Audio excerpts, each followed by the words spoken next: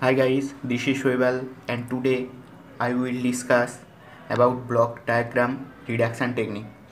So by using block diagram reduction technique you can easily find the transfer function of any system. So you can also find the transfer function by using signal flow diagram. This will be covered in my next video. So today I will discuss how to find transfer function using block diagram reduction technique. So to do this you have to remember some rules.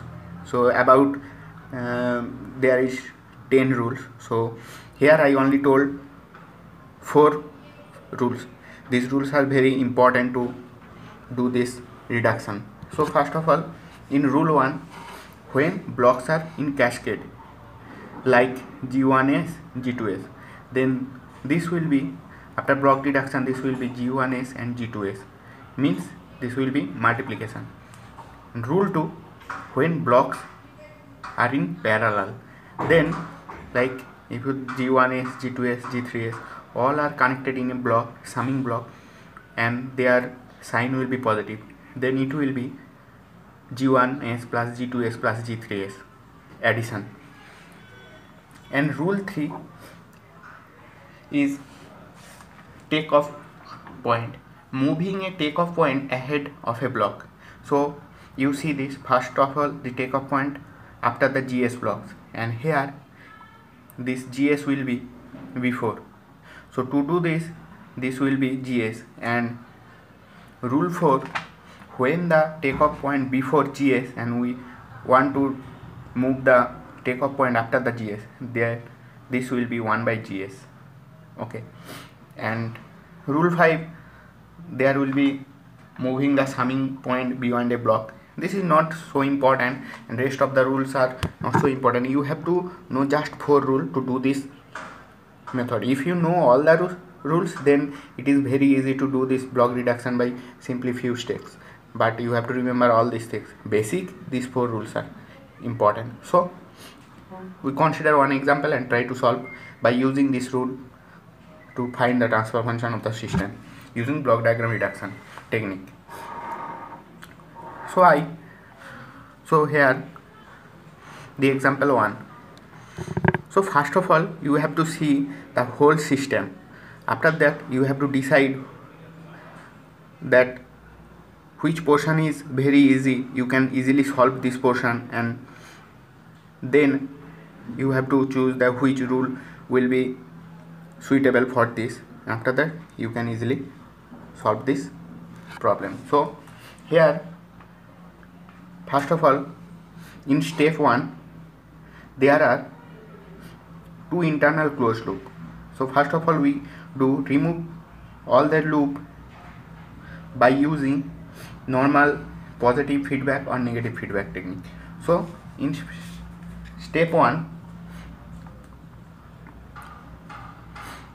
you have to remember these things when there is summing block and this is GS and this is HS and there will be feedback this one and if input RS and CS this is positive and the negative feedback the transfer function will be CS by RS divided by GS by 1 plus GS in HS this is only for negative feedback. So you have to remember that sign. You have to every time you have observed this sign if there is a positive then there will be positive feedback. And for the positive feedback the CS by RS will be GS by 1 minus GS into HS. This is for negative feedback this is for positive feedback. So you have to remember this equation very carefully otherwise it will be wrong. So first of all we show see that there will be one loop this is the negative feedback loop positive uh, negative feedback loop. So we can easily convert this one. So in first step this is positive negative this will be what is the transfer function? So g1 by 1 plus g1 h1 is all will be s. And after that this one will be g2 by 1 plus g2h2 and rest will be same. That this one ch and there will be one feedback which is h3 and this is. So now you see that two blocks are in cascade. So we follow the rule one. When two blocks are cascade there will be multiplication operation so in step 3 sorry step 2 this will be plus minus rs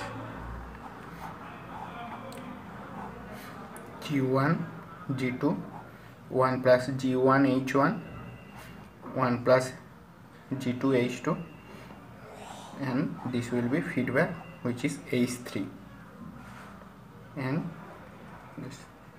Now you see that this is negative feedback. You can easily find the transfer function of this block because I already showed this one gs by 1 plus gshs whole this one you consider gs then this will be this one divided by 1 plus this one into h3 so finally you got the transfer function cs by rs will be g1 g2 1 plus g1 h1 into 1 plus g2 h2 divided by 1 plus g1 g2 h3 divided by 1 plus g1 h1 into 1 plus g2 h2 if you want to simplify this equation you can easily simplify this. So you this is very easy steps. So we find the transfer function of the system by using block diagram reduction technique. Now we consider one another example. So by using block diagram reduction technique we have to find the overall transformation of the system. So first of all by you by seeing the block diagram you have to consider that which portion will be easily you converted. After that will be thing rest of the thing. So here you can easily see this this one because two blocks are in cascade. So that will be multiplication. Means 1 by r2 into 1 by s into c2 and after that you see this is one loop. So you can easily find the transfer function of the block.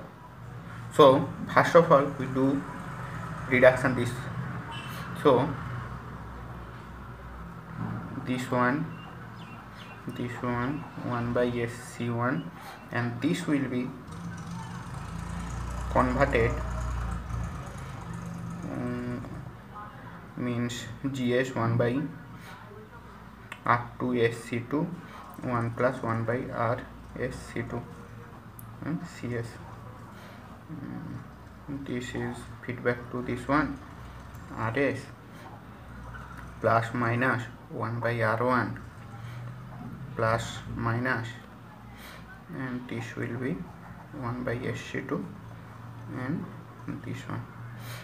So this is the step 1 now step 2 so from here you cannot do anything. So you have to remember all the four rules that I already told so by using rules you we can do that this takeoff point we can shift it behind this one. So we apply rule 4 so in rule 4 what is in rule 4 rule 4 if this is gs block and here takeoff point then after this will be if we before sorry sorry before after sorry. Here take a point. If we want to after the gs block then this will be gs and take a point will be after gs this will be 1 by gs so this is cs this so here i apply rule 4 so after applying rule 4 this one means this takeoff point is after the this block. So this will be plus minus 1 by r1 this 1 by sc1 this is I simplify this one means 1 by 1 plus r2 c2s this one and rest of the component will be same. This is minus plus this one.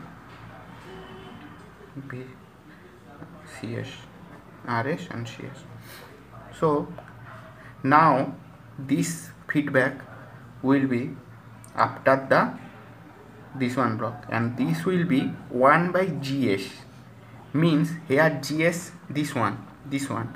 So 1 by gs will be 1 plus r2 c2s so we complete this part. After that you see that these two blocks are in cascade. So this block and this block will be multiplication. After that you see sc2 will be negative feedback. So this block will be you can represent like gs divided by 1 plus gshs so in step 2 we consider this part. And i directly write this equation. So plus minus 1 by r1 after this multiplication multiply to to this block and apply negative feedback. So this will be 1 by sc1 plus r2 c1 c2 square and sc2 and this will be 1 by sorry 1 plus r2 c2 s. Cs and rs now you can easily find the transfer function by using this one after that you have to multiply this one this one and apply negative feedback technique means gs by 1 plus gshs and you get the finally transfer function of the system. So this is very easy. You have to just remember four rules. Rule 1 rule 2 rule 3 rule 4 especially for the takeoff point you have to remember this one because these rules are very important to do this block reduction technique. So if you have any query please comment on below video section. Thank you for your kind attention. If you like my video please subscribe my channel. Thank you